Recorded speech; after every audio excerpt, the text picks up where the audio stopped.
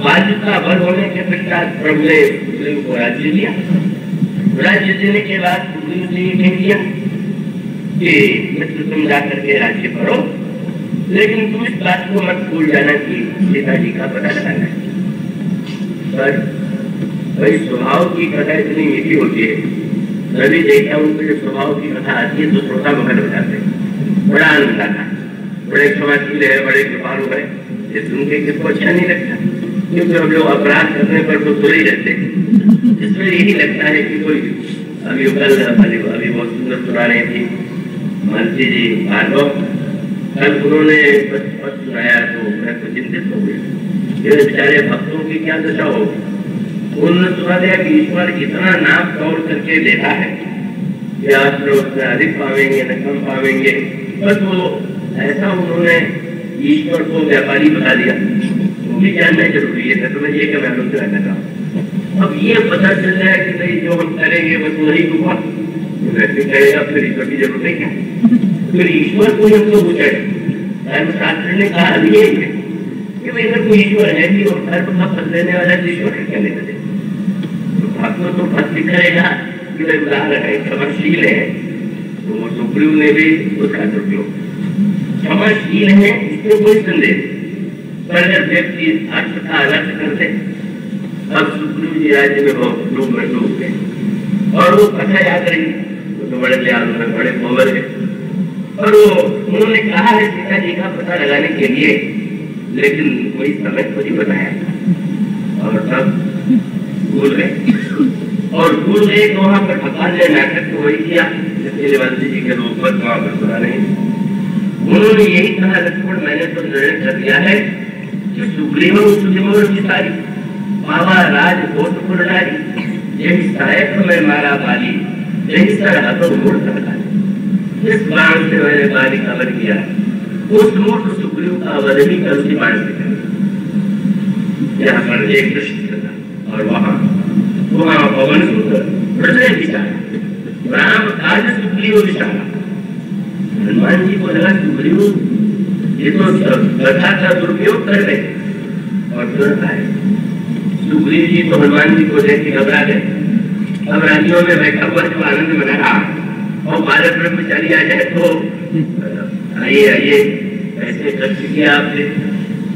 हनुमान जी ने कहा, मैंने सोचा कि बहुत दिन कथा सुनाए हुए आपने निमंत्रण नहीं दिया तो मैं स्वयं कथा सुनाने आया। हाँ बहुत मधुर कथा आपकी तो है। बहुत सुंदर कहते हैं।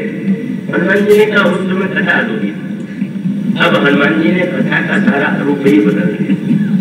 और अभिप्राय ये अगर कोई व्यक्ति दुखी है, दीन है तो स्वभाव की कथा की आवश्यकता पर अगर भगवान के स्वभाव का दुरुपयोग करने लगे तो हनुमान जी ने आज राजनीतिक कथा सुनाई। हमने सब ये लिखा। और उसका अभिप्राय सबका उद्देश्य उन्होंने लिखा लिखा है चरणन चरणा और चालू भी तेरी कहीं समझा राजनीति की दृष्टि से रहने लगे। भगवान राम के चरित्र को आपने देखा कितने बड़े राजनीतिज्ञ अगर तो सुग्रीव ने कभी सुना नहीं। ये सुना था कि बड़े भक्त वत्सल आपसे मित्रता हुई तो उन्होंने क्या शब्द कहा? कि लेख लेख बल शंकर धरे मित्र को देना भी चाहिए लेना भी चाहिए। इसका अर्थ पहले से बता दिया था।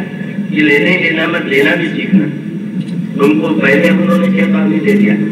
वो बहुत बड़े राजनीतिज्ञ हैं।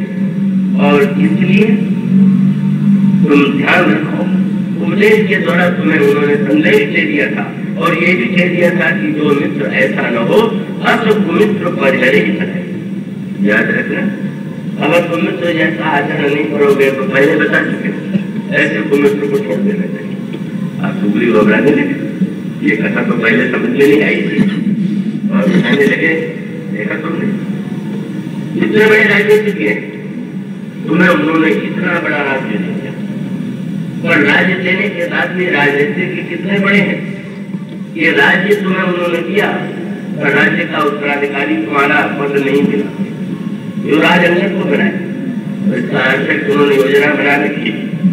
कि अगर ये गड़बड़ी करेगा तो अंगद युवराज है उनको राज्य पद पर बैठा देगा अब तो बेचारा घबराने लगा। भगवान राम बहुत बुरे तो अयोध्या के सम्राट के पुत्र हैं और अंतिम बात जो घटी तत्व विचारे सुग्रीव का प्राणी टूट गया उनका तुमने ध्यान दिया? बाली को जब मारा तो मारने के बाद वो बाण कहा गया? सुग्रीव ने कहा, वो तो लौट के उनके सर्कस में चला गया। क्यों चला गया? कोई बड़े कृपालु है। जिसको देखते हैं, उसको पास बुला लेते हैं। नहीं नहीं, ये अर्थ नहीं। मुझे लगता है कि उन्होंने ये बाण बाली को मारने के बाद इसलिए रख दिया। कि सुप्रीम भी अगर गड़बड़ी चलेगा तो इसी बाण से मारेगा। वो तुम्हारे लिए रखा और ये कथा सुनते कथा निर्भय भी बनाती है और प्रयुक्त भी बनाती है। पहले कथा ने निर्भय बनाया। और आज कथा सुन सुप्रीम परम गय माना निर्भय होकर के अगर व्यक्ति निर्भय हो जाए, वो भी गुण है लेकिन निर्भय होने के बाद अगर जीवन में अब वो बुराई की दिशा में अग्रसर हो जाए तो ऐसा संसार भगवान की ओर प्रेरित करना, यह कथा का उद्देश्य और यही तो यह जब प्रभु ने कहा, मैं मारूँगा तो लक्ष्मण जी ने कहा आप तो मारेंगे, और आपने जो कह दिया, कल मारेंगे। तो ही। हूँ तुरंत कहा, मारना देना। मित्र बनाया है मित्र बनाने के बाद छोड़ भी सकता हूँ क्या प्रभु आपने उपदेश तो उस दिन वही दिया था। छोड़ा भी जा सकता है। भाई, वो तो मेरे स्वभाव के लिए संभव ही नहीं।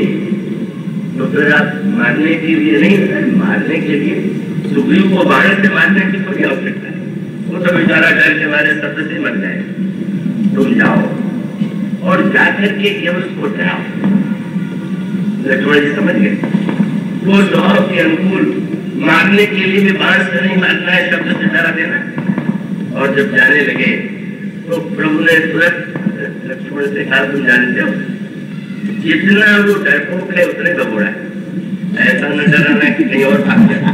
इधर ही जाना सब अनुसही समझावा रघुपति करुणा जीव भय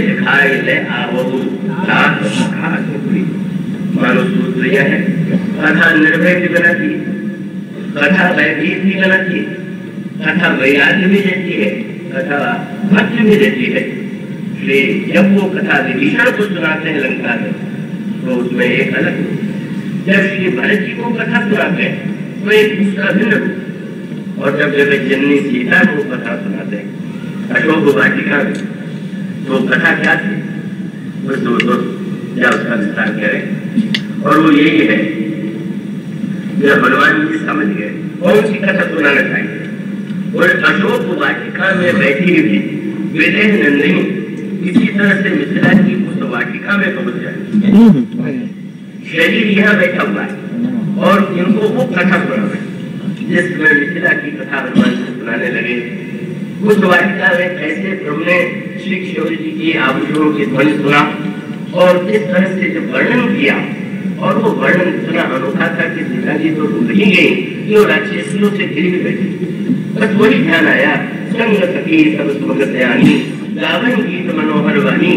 और उस समय जब बताने लगे, हनुमान जी ने कहा कि प्रभु ने उस समय वाटिका में मोर पक्ष धारण कर दिया। और मोर पक्ष वो अयोध्या से नहीं लाए।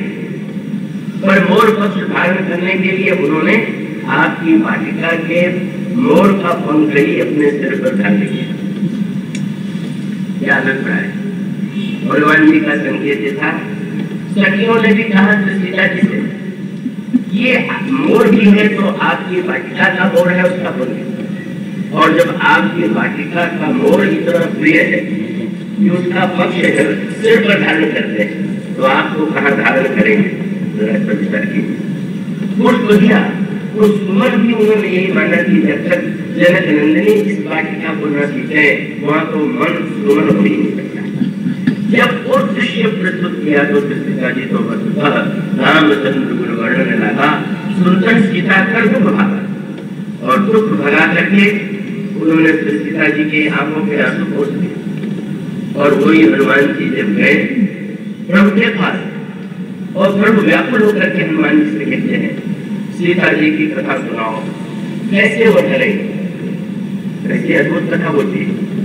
सीता जी को सुनाया तो आँखें आँसू मिट गए और जब भगवान राम ने सुनने के लिए कहा तो कहने महाराज महाराज, सीता विपत्ति विशाला कहे भर दीन दयाल।